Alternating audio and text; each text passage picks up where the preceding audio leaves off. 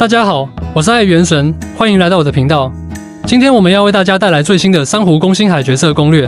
珊瑚宫星海已经跟大家见面了。作为数量稀少的水系角色，我相信很多人都对星海有很多期待。它的定位什么样呢？既然是水系角色，它的上水能力又如何？能否缓解行秋不够用的尴尬？与命星海又该如何组队呢？不考虑叉 P 系统的话，要不要攒原石抽取呢？那么就让甜甜校花接着在本期平民之友中将这些问题一一解答。相信看完本期视频后，各位旅行者一定会有新的收获。让我们开始吧。首先，我们要清楚珊瑚宫星海的定位。星海是一个五星水属性奶妈，尤其是拥有较为持久的挂水能力。极高的治疗量以及战场治疗时能够打出远高于其他治疗角色的输出。另外，星海对于极品圣遗物需求度很低，不必追求双爆就能有一定的强度，处于下限极高的角色。如果你的角色池中缺少行秋，或者行秋很忙，需要水属性角色辅助，或者错过了钟离，而队伍中还没有其他治疗角色，那么这就可以考虑入手星海，它能够让你减轻提米供应禽肉的压力，让旅行者畅游大世界。如果你的队伍是缺少主 C，则不建议强抽。星海还想要战场输。出需要后台角色的支持，相比于一个人就能撑起整个队伍输出的其他主 C，星海在这一方面要弱上很多。如果将星海作为上水元素的复写来使用，那么则要看你的角色池中是否有雷神、神里或干预这种能够轻松与水元素发生巨变反应的角色。具体的配对玩法会在后面详细介绍。清楚了星海的定位后，我们再来具体看看它的天赋技能是如何发挥作用的。先来看星海的基础模板，九十级时拥有一万三千四百血，二百三十四攻击力，六百五十七点防御力，突破增加水元。素伤害为百分之二十八点八，星海的血量属于比较高的，虽然跟钟离这种血牛的一万四千六百血还是差一些，但是也足够用了。比较诡异的是，它而突破增加的是水元素伤害，这大概是想让星海能够打出更多的输出。如果突破能够增加血量或者治疗加成的话，星海的面板就非常不错了。先来看看星海的技能，首先是它的治疗技能，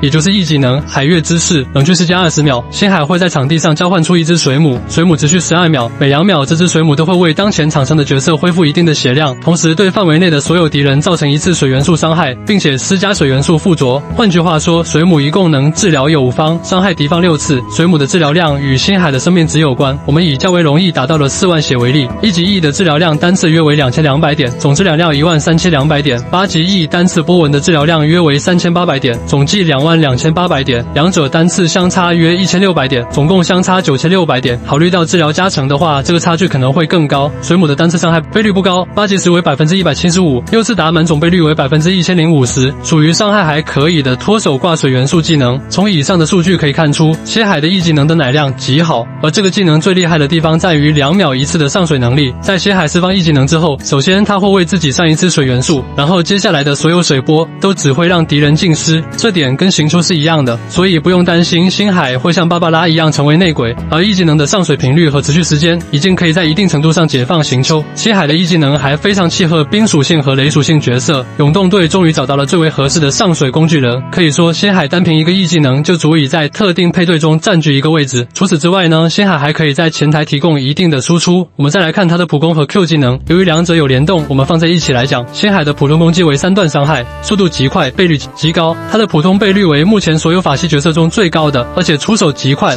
不到两秒就能打完一个循环。然后再来看看仙海的 Q 技能，海人话语，十八秒冷却，持续十秒。需要七十点能量，Q 技能会为星海提供三种 buff。第一个是使星海的普攻和 E 技能都会得到伤害提升，提升量取决于星海的血量。八级技能时，一个四万血的星海开启 Q 技能时，普通伤害会增加约三千一百点，重击增加约四千三百六十点，水母一次波纹伤害增加约四千五百五十点，增加的幅度还是很明显的。但是单从伤害数值上来看，还是达不到一流 C 的水准。第二个是使星海的普攻还会为队伍中其他角色恢复血量。八级时四万血的星海每一次普攻至少会恢复。六百五十点。第三个则是大幅度增加星海的抗打断能力，并且使星海能够在海面上行走，渡海真菌的竞争又激烈了起来。另外，星海还有四个天赋，一个是释放 Q 技能后，如果场上有 E 技能的水母，则会重置水母的存在时间，意思是水母可以存在十二秒。如果在第十一秒开启 Q 技能，那么水母又可以存在十二秒。理论上啊，只要星海的大招够快，那么场上就可以一直存在水母。但是这个天赋是重置存在时间，而不是重置技能冷却，这就要求我们在适合的时间使用 Q 技能。早了就浪费了原本的持续时间，晚了水母就消失了。最好的利用星海的这个天赋的方式就是：第一步，星海上场释放 E 技能；第二步，切换其他角色，释放他们的技能，同时将这个流程控制在十二秒之内。第三步，切回星海开 Q，重置水母的存在时间。至于要不要星海战场输出，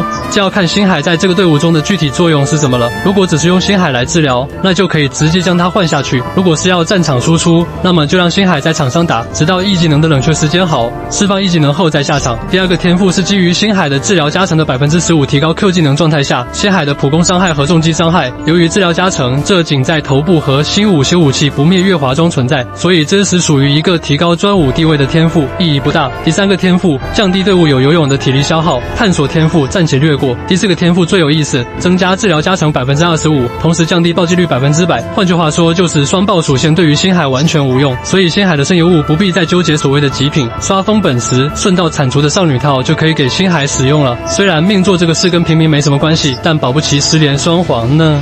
顺便我们也看一下星海是不是会跟雷神的二命一样，低命座就有巨大提升呢？好家伙，不看不知道，提升最大的命座原来是一命。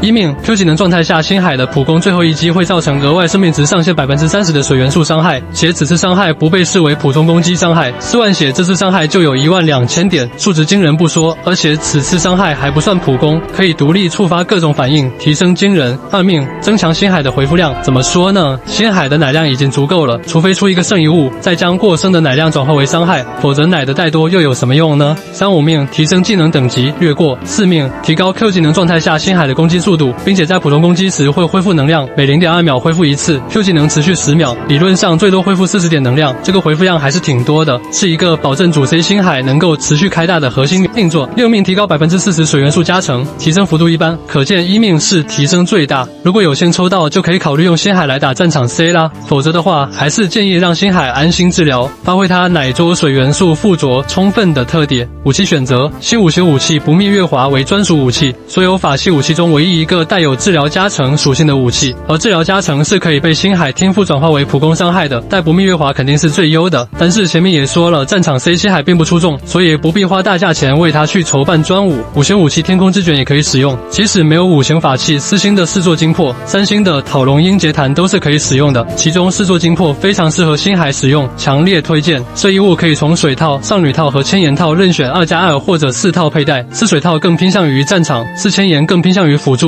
而四少女则奶百量更足。我个人还是更倾向于佩戴四千岩或者是少女千岩二加二。其锥选择上，除头部为治疗加成外，其他均为生面即可。关于星海的配对，给出两种思路：第一种为战场输出，这种星海首先需要考虑 Q 技能的充能问题。星海的 E 技能产球很少，七十点能量需求在没有四命的情况下会异常艰难，所以雷神是这种星海的最佳拍档。同时，雷神的 E 技能可以提供充足的雷元素，使得星海可以源源不断的打出感电反应，解决 A O E 不足的问题。如果没有雷神，那么雷主也可以替补登场。这种队伍为星海加雷神加正义雷系角色加辅助，较高的配置为星海雷神九条万叶。第二种思路是将星海作为提供水元素的副 C，以永动队为最右，常见配对为神里或者干雨加星海加任意冰系角色加辅助，比较高的配置为神里加星海加同源加万叶或者温迪，同源加星海加凯亚，这样的组合也是相当不错的，输出环境会非常安稳。另外呢，星海也可以单纯作为奶妈丢到任意队伍当中，简单方便，即插即用。珊瑚宫星海是一根奶量极高的水属性角色，在治疗方面，它的奶量不比钟离的盾少，但是在目前的原神环境中，治疗其实是一个非常尴尬的东西。我们可以通过技术、食物等各种手段降低对奶量的需求，而护盾则拥有免疫打断、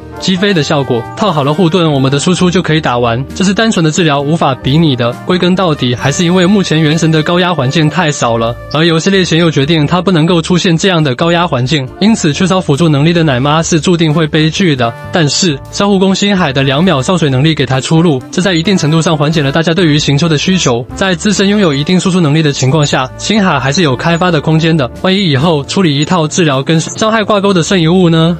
好啦，本期平民之友之珊瑚宫星海就到这里啦。有什么疑问可以在评论区留言哟。未来呢，天天笑话街还会带来更多更好的原始视频，感兴趣的观众记得关注一键三连哟。我们下期视频再见。